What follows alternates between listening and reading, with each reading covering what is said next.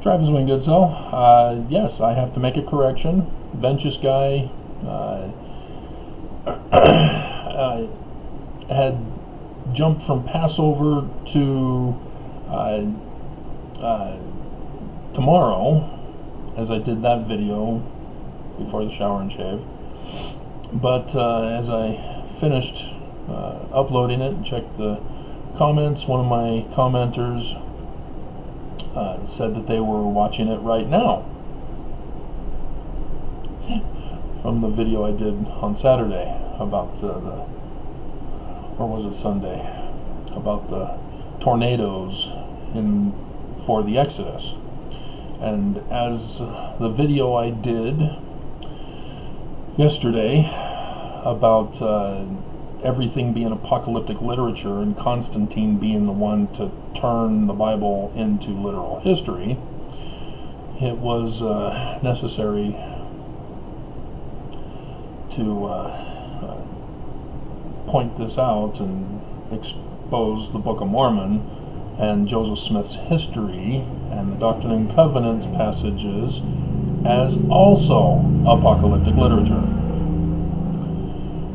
That's what Joseph Smith was doing. And so ex Mormons get it wrong when they say that the whole thing is just a fraud and a lie. No. Mormons also get it wrong, thinking it's literal history. No. It's apocalyptic literature, specifically written and designed by Sidney Rigdon, the major author of the Book of Mormon, according to linguistics. That's a science.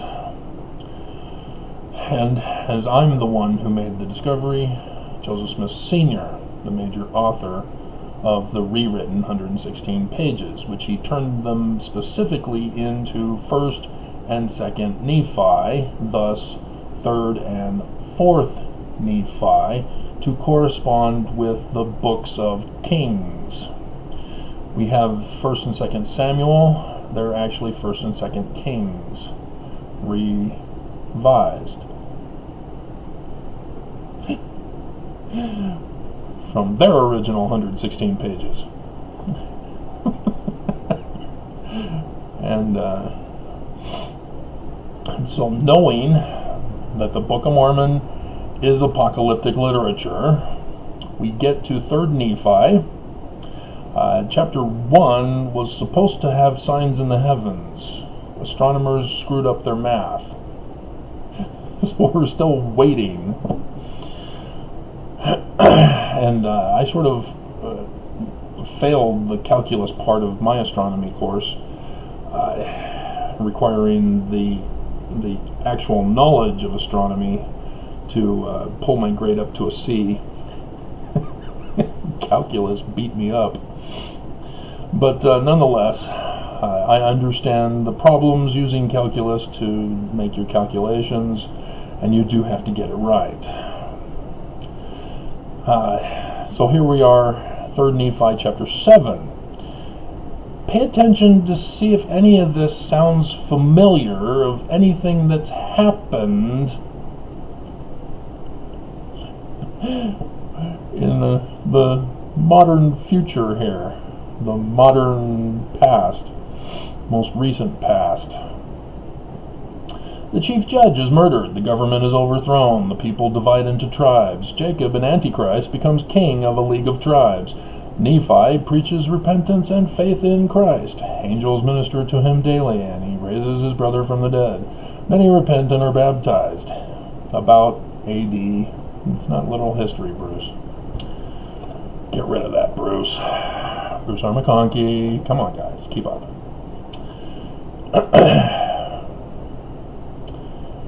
And so uh, I hope she wasn't. But the timing with the Book of Mormon is kind of concerning me. But she did make a guest appearance on SNL on Saturday.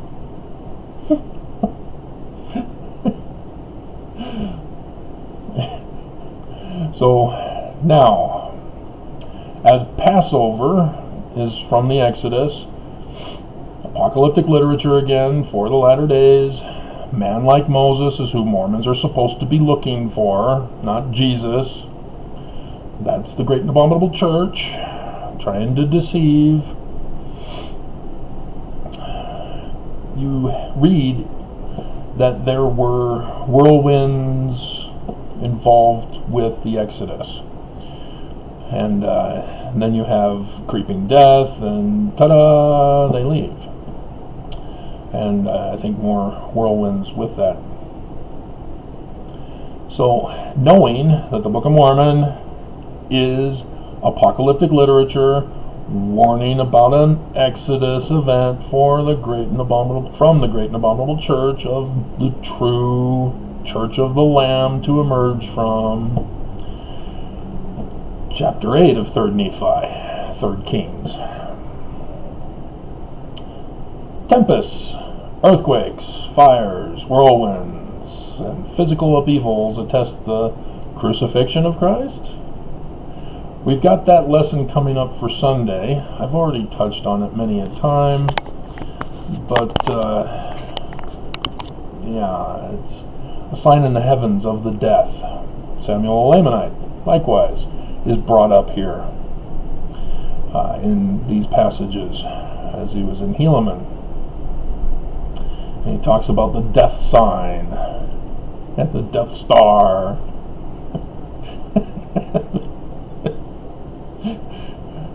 you do know that Star Wars has Hebrew names encoded into it. Jedi, remove the vowels, remove the vowels of Judah. What do you get? You get a match. So Princess Amada- Amidala, or Queen Amidala, yeah, handmaid. Oh, she doubles as a handmaid to conceal her identity. Huh just those little things that if you knew, you'd go, oh, okay, I see what he's doing. And Jar Jar Binks, no, has nothing to do with anything. That was an attempt to appeal to kids, and it failed.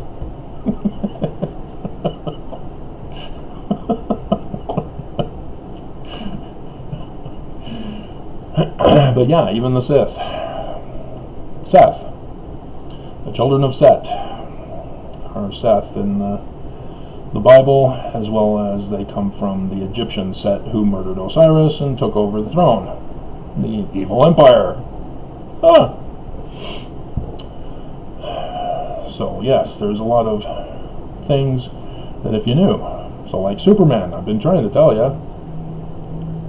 The House of El? Not a coincidence.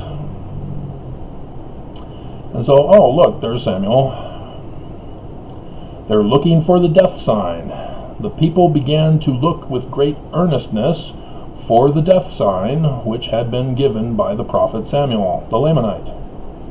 Yea, for the time that there should be the third day of darkness. Yes, the three days. Notice the Gospels, made Gospels by Constantine, which were apocalyptic literature. They only say three hours. three days three days over the face of the land, which means three solar eclipses. The first and the last cross. Wonder how the Smiths knew this. oh, it's in Revelation. Oh, Smith Sr. was in the New Israelites in Vermont. Oh, he rewrote the 116 pages, huh? Huh, okay. Joseph Jr.'s one job was to babysit Martin Harris, and he blew it. And so he had to go into hiding for over a year and and uh, let things die down until they can come out and say, a marvelous work and wonder is about to come forth among the children of men. And then we're going to wait a few more months before Oliver Cowdery and I begin. and then take only a month and a half to write the whole Book of Mormon. It's a miracle from God. Yeah, well, chapter 8. Uh, many people are destroyed. Darkness covers the face of the land for three days. We have one next year. That's the second one. Uh, 14 October 2023. And then the big one of big ones, which we get to in 3rd Nephi chapter 11. But right now, we have to deal with this. They knew this.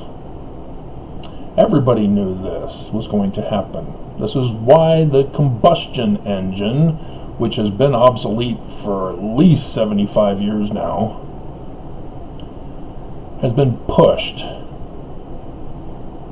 because they knew that it gives off car exhaust, which pollutes the air and which raises the temperature of the earth, which would cause, ta-da, tempests, earthquakes, fires, whirlwinds, and physical upheavals. You know, it's that climate things that the deep state Dems are trying to take away your hamburgers. It's not the cows that are the problem. Cows have been around forever. Leave the cows alone. Eat more chicken.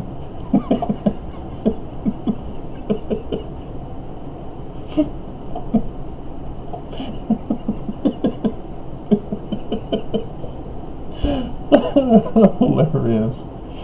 Chick fil A.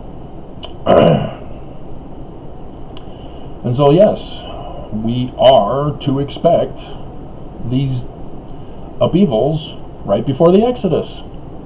Because that's what this is. These are the storms right before the Exodus. How do we know it's right before the Exodus? 3rd Nephi chapter 11. It tells us. Now it came to pass that there was a great multitude gathered together of the people of Nephi round about the temple which was in the land bountiful. And they were marveling and wondering one with another, and were showing one to another the great and marvelous change which had taken place. From what? The upheavals, the natural disasters. And they were also talking about the sign in the heavens of the death sign.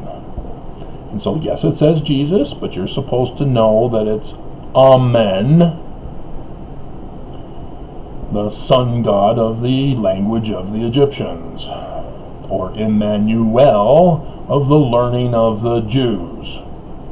Remove Constantine from your vocabulary.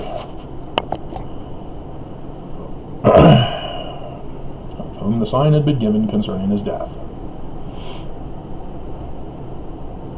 And all Mormons miss it because the church is keeping us in, in darkness. See, round about the temple, which was in the land bountiful. I thought it was Zarahemla, which was the capital. Salt Lake City. What's going on? What's this bountiful place? Paradise? Zion? So there's a temple in Zion. And it needs to be built before the death sign on 8 April 2024 two more years. Remember I keep doing this? Oh, right, there's only like a dozen people that watch now because YouTube doesn't want you to know. They are getting paid by the church to silence me. Just like those who are getting paid by the church to have me assassinated. They don't want you to know this information. And it's right here in the Book of Mormon, the keystone of our religion. And so, yeah, be safe.